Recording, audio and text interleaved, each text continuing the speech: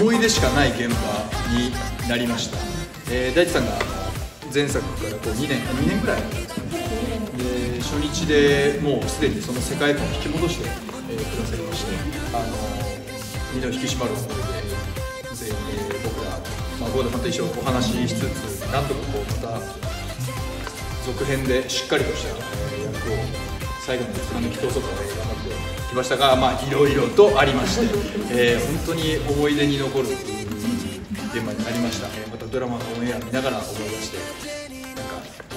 また何年後か再会できればいいなと思ってます。その時まで。さよなら。ありがとうございました。